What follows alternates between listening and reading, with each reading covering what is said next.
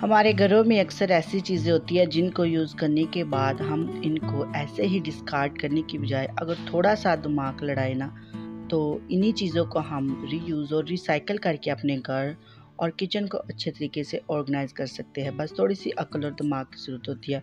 तो आज मैं आपको इन यूज़ चीज़ रीयूज करके इनको बहुत ही यूज़फुल वे में लाकर ऐसे टिप्स एंड ट्रिक्स जो है शेयर करूँगी। वीडियो को एंड तक देखिएगा। So let's get start hello everyone welcome back my YouTube channel मैं हूँ Anam Shahzad I hope you also I very good I am also fine tip number one जो हमारी है, प्याज की बास्केट होती है। इनके अंदर हम लहसन, अदरक, प्याज और आलू वगैरह रखते हुए जो वो अक्सर उनको हटाएँ तो नीचे काफ़ी गंदी गंद हमें नज़र आता है, क्योंकि वो एक सुराखदार जाली होती है, टोकरी इस तरह से गंदी नज़र आती है तो बहुत ही बुरा लगता है। तो इस गंद को अवॉइड करने के लिए हमें इनको साफ़ करना पड़ता है बार बार पीछे करके और अक्सर इन सब चीज़ों को टोकरी से निकाल कर देखें ना तो इनके अंदर भी गंद जो है ना होता है तो वो बहुत ही बुरा लगता है। इनके पीछे जो है ना, इनके बेस्ट वे यही है कि इनको ना एक आप इस तरह अखबार का पीस ले लें और अच्छे से जो है ना प्याज को साफ़ कर लें।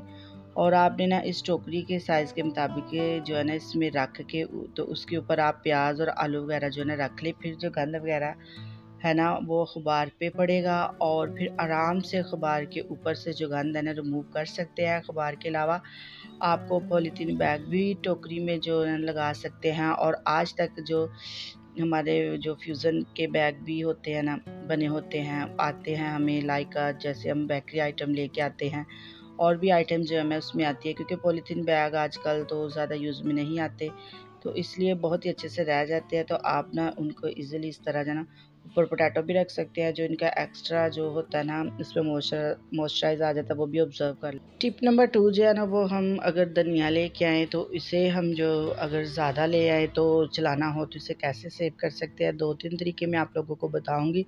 तो सबसे पहले एक ये तरीका अगर आपका इस तरह घर में गिलास जो है, इस तरह थोड़ा सा ख़राब हो जाए, वैसे भी आप गिलास ले सकते हैं। तो इस तरह जो, इस तरह इनकी जड़ें मिलती है ना, अक्सर ऐसा भी धनिया आता है, आप इनको ये साफ़ करें। और ऐसे इस तरह आप थोड़ा सा पानी इसमें लें जहाँ मतलब इनकी जो जड़ ये डीप हो जाए, इस तरह रख देंगे। फिर इसके ऊपर आप जो है ना, इस तरह का ये जो बैग है शॉपर है मतलब ये नॉर्मल यही आप इस तरह इसे कवर करें और फ्रिज में रख दें। तो आराम से आप लोग इसे जो है ना, एक वीक के लिए यूज़ कर सकते हैं। तो आप इस तरह ज़रूर पहले साफ़ कर लें इस तरह का। ये थोड़ा ही मैं लेके आई थी।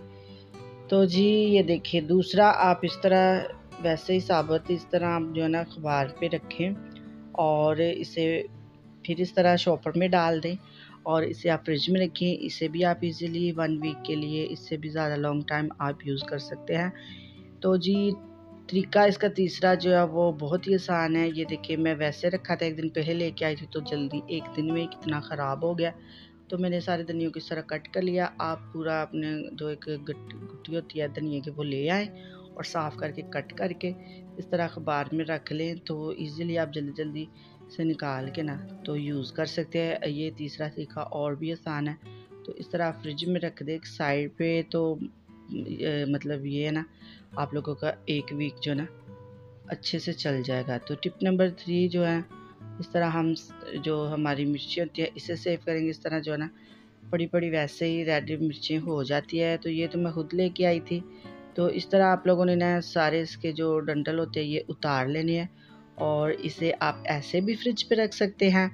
और दूसरा इसका ये तरीका है कि आप इसे भी इस तरह अखबार के अंदर रख के अच्छे से रैप कर लें। सारी, उस हिसाब से आप जो है ना अखबार को कट कर लें, जितने आपकी मिर्चें हैं, उस साइज़ से आप लोग ना तो इस तरह इसमें रख के अच्छे से लपेट के तो फिर आप लोगों ने वही सिंपल जो है शॉपर है वो ले लेना है। इस तरह के भी आपके जो बैग है, इसमें भी रख सकते हैं।